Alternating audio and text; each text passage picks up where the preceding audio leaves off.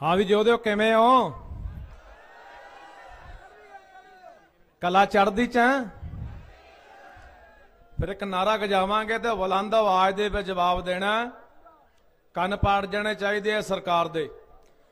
ਬੋਲੇ ਸੋ ਨਿਹਾਲ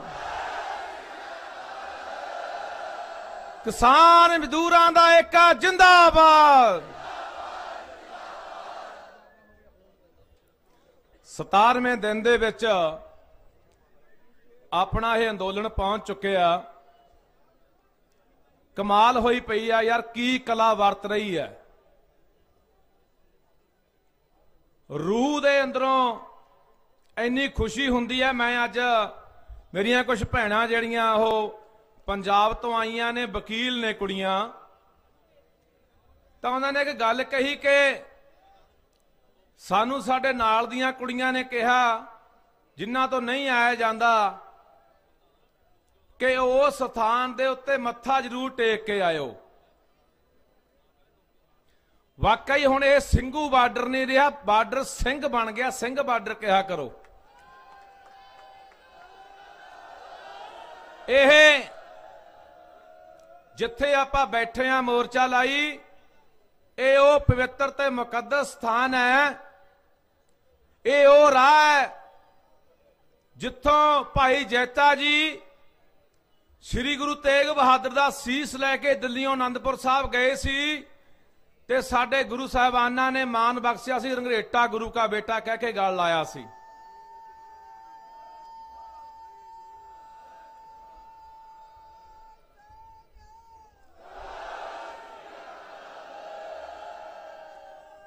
ਵਾਕਈ ਯਾਰ ਪ੍ਰਮਾਤਮਾ ਦੀ ਕਲਾ ਵਰਤ ਰਹੀ ਹੈ।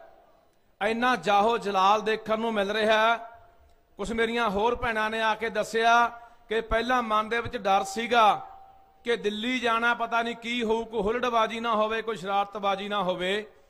ਪਰ ਉੱਥੇ ਜਾ ਕੇ ਦੇਖਿਆ ਕਿ ਸਾਡੀ ਗੱਡੀ ਫਸ ਗਈ। ਨੌਜਵਾਨਾਂ ਨੇ ਆਪ ਗੱਡੀ ਸਾਡੀ ਕਢਾਈ ਹੈ, ਅਸੀਂ ਇੱਥੇ ਸੁਰੱਖਿਅਤ ਮਹਿਸੂਸ ਕਰਦੀਆਂ।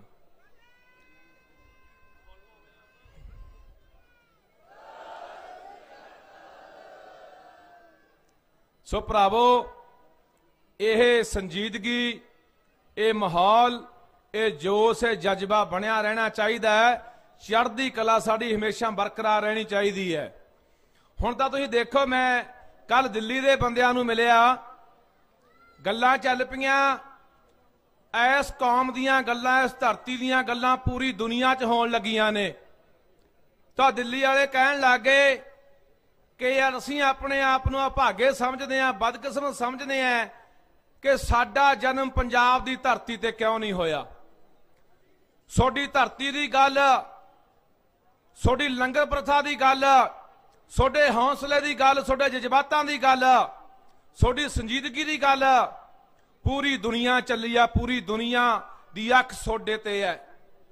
ਪੂਰੀ ਦੁਨੀਆ ਪੂਰਾ ਭਾਰਤ ਸੋਡੇ ਵੱਲ ਦੇਖ ਰਿਹਾ ਹੈ ਕਿ ਪੰਜਾਬ ਮੋਰੀ ਭੂਮਿਕਾ ਨਿਭਾ ਰਿਹਾ ਹੈ ਤੇ ਪੰਜਾਬ ਦੇ ਲੋਕ ਜਿੱਤ ਕੇ ਵਾਪਸ ਜਾਣਗੇ, ਕੋਈ ਸੋਧਾਂ ਸੂਧਾਂ ਨਾਲ ਵਾਪਸ ਅਸੀਂ ਨਹੀਂ ਜਾਣਾ ਇੱਥੋਂ।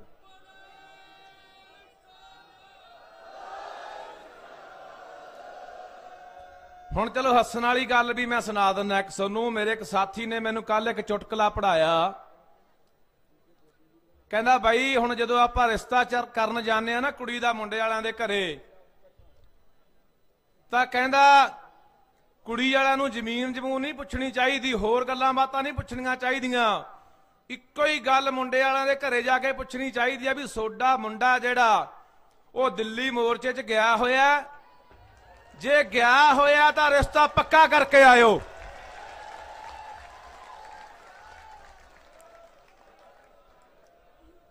ਵਾਕਿਆ ਯਾਰ ਕਦੇ ਕਦੇ ਨਾ ਮਨ ਇੰਨਾ ਮਤਲਬ ਕਿ ਅੰਦਰੋਂ ਭਾਵਕ ਹੋ ਜਾਈਦਾ। ਇੰਨੇ ਸਿਰ ਸਾਡੇ ਜੁੜੇ ਹੋਏ ਨੇ ਨੌਜਵਾਨਾਂ ਦੇ, ਇੰਨਾ ਪਿਆਰ ਹੈ, ਇੰਨਾ ਜੋਸ਼ ਹਲਾਰੇ ਮਾਰਦਾ ਹੈ, ਤੇ ਇਹੀ ਗੱਲਾਂ ਸਾਡੀਆਂ ਦੁਸ਼ਮਣ ਨੂੰ ਵਕਤ ਪਾਈ ਖੜੀਆਂ ਨੇ। ਇੱਥੇ ਆਪਾਂ ਦੇਖਦੇ ਹਾਂ, ਚੈਨਲ ਵਾਲੇ ਦਿਖਾ ਰਹੇ ਆ ਕਿ ਆ ਫੁੱਟਪਾਥਾਂ ਦੇ ਆਪਣੇ ਵਾਲਿਆਂ ਨੇ ਗੰਡੇ ਲਾਉਣੇ ਸ਼ੁਰੂ ਕਰਤੇ। ਵੀ ਲੰਬਾ ਸਮਾਂ ਕੋਈ ਗੱਲ ਨਹੀਂ 6 ਮਹੀਨੇ ਸਾਲ ਤੱਕ ਅਸੀਂ ਇੱਥੇ ਬੈਠਾਂਗੇ। ਸੋ ਭਰਾਵੋ, ਇਹੀ ਮੇਰੀਆਂ ਇੰਨੀਆਂ ਕੁ ਬੇਨਤੀਆਂ ਸੀਗੀਆਂ। ਬਸ ਇੱਕ ਗੱਲ ਦਾ ਹੋਰ ਖਿਆਲ ਰੱਖਣਾ, ਰਾਤ ਨੂੰ ਕਈ ਵਾਰੀ ਧਿਆਨ ਚ ਆਉਂਦਾ ਹੈ ਕਿ ਮੁੰਡੇ ਨੇ ਜਿਹੜੇ ਨੌਜਵਾਨ ਨੇ ਆ ਟਰੈਕਟਰ ਵਗੈਰਾ ਲੈ ਕੇ ਕਿਤੇ ਕੋਈ ਰਾਤ ਨੂੰ ਇਹੋ ਜਿਹਾ ਮਾਹੌਲ ਨਾ ਬਣਾਇਆ ਕਰੋ। ਕਈ ਵਾਰੀ ਹੋ ਸਕਦਾ ਹੈ ਕੋਈ ਲੜਾਈ ਝਗੜੇ ਦਾ ਮਾਹੌਲ ਬਣ ਜੇ। ਤਾਂ ਫਿਰ ਉਹੀ ਖਬਰਾਂ ਜਿਹੜੀਆਂ ਇਹਨਾਂ ਦਾ ਮੀਡੀਆ ਇੱਥੋਂ ਵਧਾ ਘਟਾ ਕੇ ਉਹਨਾਂ ਨੂੰ ਪੇਸ਼ ਕਰੂਗਾ ਕਿ ਆਹ ਦੇਖੋ ਜੀ, ਇਸ ਮੋਰਚੇ ਦੇ ਵਿੱਚ ਤਾਂ ਕੁਝ ਹੋ ਰਿਹਾ ਹੈ। ਬਾਕੀ ਗੱਲ ਧੰਨਵਾਦ ਕਰਨਾ ਬਣਦਾ ਹੈ। ਸਾਡੇ ਹਰਿਆਣੇ ਵਾਲੇ ਭਰਾਵਾਂ ਦਾ। ਇਹ ਗੱਲਾਂ ਕੋਸ਼ਿਸ਼ਾਂ ਕੀਤੀਆਂ ਗਈਆਂ ਕਿ ਇਕੱਲੇ ਪੰਜਾਬ ਦਾ ਅੰਦੋਲਨ ਹੈ ਇਕੱਲੇ ਪੰਜਾਬੀ ਬੈਠੇ ਨੇ, ਇਕੱਲੇ ਸਿੱਖ ਬੈਠੇ ਨੇ। ਪਰ ਇੱਥੇ ਦੇਖੋ ਤੁਸੀਂ ਇਕੱਲੀ ਕਮਾਲ ਦੀ ਗੱਲ ਹੋ ਰਹੀ ਹੈ ਕਿ ਇੱਥੇ ਆ ਪਿਛਲੇ ਪਾਸੇ ਆਪਣੇ ਸ੍ਰੀ ਗੁਰੂ ਗ੍ਰੰਥ ਸਾਹਿਬ ਵੀ ਪ੍ਰਕਾਸ਼ ਨੇ। ਰੋਜ਼ ਇੱਥੇ ਪਾ- ਪਾਠ ਹੁੰਦੇ ਨੇ, ਅਰਦਾਸਾਂ ਹੁੰਦੀਆਂ ਨੇ, ਹਵਨ ਵੀ ਹੋ ਰਹੇ ਨੇ, ਨਮਾਜ਼ਾਂ ਵੀ ਹੋ ਰਹੀਆਂ ਨੇ। ਜਾਣੇ ਸਾਰੇ ਰੰਗ ਨੇ ਇਸ ਅੰਦੋਲਨ ਦੇ ਵਿੱਚ। ਇਹਨਾਂ ਨੇ ਬੜੀਆਂ ਕੋਸ਼ਿਸ਼ਾਂ ਕੀਤੀਆਂ, ਪਰ ਇਹਨਾਂ ਦੀ ਚਾਲ ਕੋਈ ਚੱਲੀ ਨਹੀਂ। ਉਹ ਇਹਨਾਂ ਦਾ ਉਹੀ ਜੀ ਨਿਊਜ਼ ਆ, ਜਿਹੜਾ ਕਹਿੰਦਾ ਸੀ ਵੱਖਵਾਦੀ ਆ ਗਏ, ਰੈਡੀਕਲ ਆ ਗਏ, ਇਹ ਮਾਓਵਾਦੀ ਆ ਗਏ, ਉਹੀ ਕਹਿੰਦਾ ਕਿ ਇਹਨਾਂ ਲੋਕਾਂ ਨੂੰ ਸਿੱਖਣਾ ਚਾਹੀਦਾ ਹੈ ਕਿ ਕਿਵੇਂ ਅੰਦੋਲਨ ਕਰੀਦੇ ਨੇ। ਇੱਥੋਂ ਪਤਾ ਲੱਗਦਾ ਹੈ ਕਿ ਜਦੋਂ ਤੁਹਾਡਾ ਵਿਰੋਧੀ ਤੁਹਾਡਾ ਦੁਸ਼ਮਣ ਤੁਹਾਡੀ ਗੱਲ ਕਰਨੀ ਸ਼ੁਰੂ ਕਰਦਾ ਹੈ ਤੁਹਾਡੀ ਚੰਗਿਆਈ ਵਾਲੀ ਗੱਲ ਦਿਖਾਉਣ ਦੀ ਕੋਸ਼ਿਸ਼ ਕਰਦਾ ਤਾਂ ਸਮਝੋ ਤੁਸੀਂ ਜਿੱਤੇ ਪਏ ਹੋ।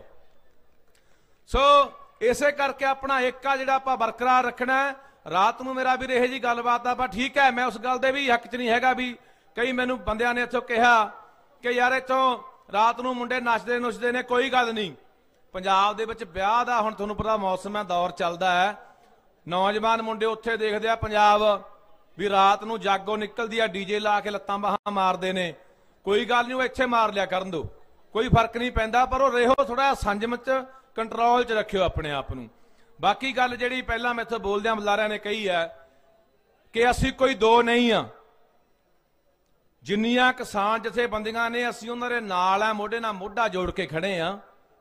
ਅਸੀਂ ਕੋਈ ਦੋ ਨਹੀਂ ਆ, ਅਸੀਂ ਕੋਸ਼ਿਸ਼ਾਂ ਕੀਤੀਆਂ ਜਾਂਦੀਆਂ ਨੇ ਇੱਥੇ। ਕਈ ਬੰਦਿਆਂ ਵੱਲੋਂ, ਇਹਨਾਂ ਦੇ ਬੰਦਿਆਂ ਵੱਲੋਂ ਕਿ ਦਫਾੜ ਹੋ ਗਏ ਅੱਡੋ ਅੱਡ ਨੇ। ਨਹੀਂ, ਅਸੀਂ ਸੋਡੇ ਤੇ ਪੂਰਾ ਭਰੋਸਾ ਕਰਦੇ ਆ, ਸੋਡੇ ਨਾਲ ਐ ਚਟਾਨ ਵਾਂਗੂ ਨਾਲ ਡਟ ਕੇ ਖੜਾਂਗੇ, ਜਿਹੜੀ ਮਰਜ਼ੀ ਡਿਊਟੀ ਲਾ ਦਿਓ, ਨਿਭਾਵਾਂਗੇ। ਬਸ ਇੰਨੀ ਕਿਰਪਾ ਕਿ ਆਪਾਂ ਸਾਰਾ ਆਹ ਜਿਹੜਾ ਇਸ ਤਰ੍ਹਾਂ ਦਾ ਮਾਹੌਲ ਹੈ, ਸਾਡਾ ਏਕਾ ਜਿਹੜਾ ਉਹਨੂੰ ਬਰਕਰਾਰ ਰੱਖੀਏ, ਕਿਉਂਕਿ ਉਹਨਾਂ ਨੇ ਸੰਧ ਲਾਉਣ ਦੀ ਕੋਸ਼ਿਸ਼ ਕਰਨੀ ਹੈ। ਸਾਨੂੰ ਪਾੜਨ ਦੀ ਕੋਸ਼ਿਸ਼ ਕਰਨੀ ਹੈ, ਦਫਾੜ ਕਰਨ ਦੀ ਕੋਸ਼ਿਸ਼ ਕਰਨੀ ਹੈ ਕਿ ਦੇਖੋ ਜੀ, ਇਹ ਤਾਂ ਆਪਸ ਵਿੱਚ ਦਫਾੜ ਹੋ ਗਏ, ਅੱਡ ਵੱਡੀ ਗੱਲਾਂ ਕਰ ਰਹੇ ਨੇ, ਤਾਂ ਕੋਈ ਵੀ ਇਸ ਤਰ੍ਹਾਂ ਦਾ ਬਿਆਨ ਆ ਜਿਹੜਾ, ਉਹ ਮੀਡੀਆ ਵਿੱਚ ਵੀ ਨਾ ਜਾਵੇ ਵੀ ਅਸੀਂ ਦਫਾੜ ਹੈ। ਅਸੀਂ ਦੋ ਰਾਹਾਂ ਤੇ ਚੱਲ ਪਏ ਆ ਤੇ ਕੋਈ ਵੀ ਢੈਂਦੀ ਕਲਾ ਦੀ ਗੱਲ ਤੁਸੀਂ ਐਸਾ ਕੱਟ ਚੋਂ ਨਹੀਂ ਕਰਨੀ ਹੁੰਦੀ। ਇਹ ਗੱਲ ਦਾ ਖਿਆਲ ਰੱਖਿਓ, ਇਹ ਪਤਾ ਹੁਣ ਕੀ ਕਰਦੇ ਆ। ਲੈ ਲਾਂ ਜੀ 2 ਮਿੰਟ। ਆ ਲਾਸਟ ਹੀ ਗੱਲ ਇਹ ਪਤਾ ਕੀ ਕਰਦੇ ਆ, ਇੱਥੋਂ ਸਾਡੇ ਵਰਗੇ ਪੱਗ ਬੰਨੀ ਹੋਊਗੀ, ਦਾੜਾ ਰੱਖਿਆ ਹੋਊਗਾ, ਝੰਡਾ ਵੀ ਹੋਊਗਾ, ਬਿੱਲਾ ਵੀ ਲੱਗਿਆ ਹੁੰਦਾ ਕਿਸੇ ਜਥੇਬੰਦੀ ਦਾ। ਉਹ ਆ ਕੇ ਨਾ ਲੋਕਾਂ ਦੇ ਵਿੱਚ ਬੈਠ ਜਾਂਦੇ ਆ ਬੰਦੇ। ਪਹਿਲਾਂ ਤਾਂ ਉਹਨਾਂ ਦੇ ਮੂੰਹੋਂ ਕੋਈ ਗੱਲਬਾਤ ਸੁਣਨ ਦੀ ਕੋਸ਼ਿਸ਼ ਕਰਦੇ ਕਿ ਲੋਕਾਂ ਦੇ ਹੌਸਲੇ ਕਿੱਥੇ ਜੇ ਖੜੇ ਨੇ। ਨਿਰਾਸ਼ਤਾ ਕਿੰਨੀ ਕਾਈ ਹੈ। ਮਨੋਬਲ ਡਿੱਗਿਆ ਹੈ ਕਿ ਉੱਚਾ ਹੋਇਆ ਤਾਂ ਉੱਥੇ ਕਦੇ ਵੀ ਤੁਸੀਂ ਕੋਈ ਬੰਦਾ ਬੈਠਾ ਹੋਵੇ ਢੈਂਦੀ ਕਲਾ ਦੀ ਗੱਲ ਨਹੀਂ ਕਰਨੀ, ਇਹ ਗੱਲ ਆਪਣੇ ਦਿਮਾਗ ਦੇ ਵਿੱਚ ਬਿਠਾ ਲਓ। ਹਮੇਸ਼ਾ ਚੜ੍ਹਦੀ ਕਲਾ ਦੀ ਗੱਲ ਕਰਨੀ ਹੈ, ਇਹਦੇ ਇੱਕੋ ਹੀ ਸਾਡੀ ਆਵਾਜ਼ ਹੋਣੀ ਚਾਹੀਦੀ ਹੈ, ਇੱਕੋ ਹੀ ਜਵਾਨ ਹੋਣੀ ਚਾਹੀਦੀ ਹੈ ਕਿ ਅਸੀਂ ਜਿੱਤ ਕੇ ਜਾਣਾ, ਜਿੱਤ ਕੇ ਜਾਣਾ ਹੈ। ਜਾਂ ਫਿਰ ਦੂਜੀ ਗੱਲ ਇਹ ਕੀ ਕਰਦੇ ਆ? ਧਿਆਨ ਦਿਓ, ਆਉਣ ਵਾਲੇ ਸਮੇਂ ਦੇ ਵਿੱਚ ਹੋ ਸਕਦਾ ਹੈ ਜਿਹਾ ਵਰਤਾਂਤ, ਇਹ ਜਿਹਾ ਮਾਹੌਲ ਬਣਾਇਆ ਜਾਵੇ ਕਿ ਇਹਨਾਂ ਦੇ ਬੰਦੇ ਆ ਕੇ ਵਿੱਚ ਬੈਠ ਜਾਂਦੇ ਆ। 10 ਬੰਦੇ ਬੈਠੇ ਹੁੰਦੇ ਨੇ ਵਿੱਚ, ਇਹਨਾਂ ਦਾ ਇੱਕ ਬੰਦਾ ਆ ਕੇ ਬੈਠ ਜਾਂਦਾ, ਉਹ ਗੱਲ ਚਲਾਉਂਦਾ ਯਾਰ ਹੁਣ ਤਾਂ ਬਹੁਤ ਹੋ ਗਿਆ, ਹੁਣ ਤਾਂ ਬਹੁਤ ਸੋਧਾਂ ਹੋ ਗਈਆਂ, ਹੁਣ ਆਪਾਂ ਨੂੰ ਮੰਨ ਜਾਣਾ ਚਾਹੀਦਾ ਇੱਕ ਗੱਲ, ਦੂਜੀ ਗੱਲ, ਡਰ ਬਿਠਾਉਣ ਦੀ ਕੋਸ਼ਿਸ਼, ਕਿ ਦੇਖੋ ਯਾਰ, ਆਰਮੀ ਚੜ ਕੇ ਆ ਜੂਗੀ। ਇੱਥੇ ਕੋਈ ਮਾਹੌਲ ਇਹੋ ਜਿਹਾ ਬਣ ਜੂਗਾ। ਇਹ ਮੈਂ ਗੱਲ ਕਿਉਂ ਕਰ ਰਿਹਾ? ਕਿਉਂਕਿ 4-3 ਦਿਨ ਪਹਿਲਾਂ ਰਾਤ ਨੂੰ ਇੱਥੋਂ ਇੱਕ ਸਟੇਜ ਦੇ ਉੱਤੋਂ ਬੋਲਿਆ ਗਿਆ ਕਿ ਹਾਈਲਾਈਟ ਹੋ ਗਿਆ ਜੀ। ਫੌਜ ਲੱਗ ਰਹੀ ਹੈ, ਘੇਰਾ ਪੈ ਰਿਹਾ ਹੈ। ਇਹ ਗੱਲਾਂ ਪੰਜਾਬ ਤੱਕ ਵੀ ਚਲੀਆਂ ਗਈਆਂ। ਪਰ ਇੱਕ ਗੱਲ ਆਪਣੇ ਦਿਮਾਗ ਦੇ ਵਿੱਚੋਂ ਕੱਢ ਦਿਓ, ਇੱਥੇ ਕੋਈ ਫੌਜੀ ਕਾਰਵਾਈ ਹੋ ਹੀ ਨਹੀਂ ਸਕਦੀ। ਕਿਉਂਕਿ ਸੋਡਾ ਅੰਦੋਲਨ ਭਾਰਤ ਤੋਂ ਬਾਹਰ ਦੁਨੀਆ ਭਰ ਦੇ ਵਿੱਚ ਪਹੁੰਚ ਚੁੱਕਿਆ ਹੈ।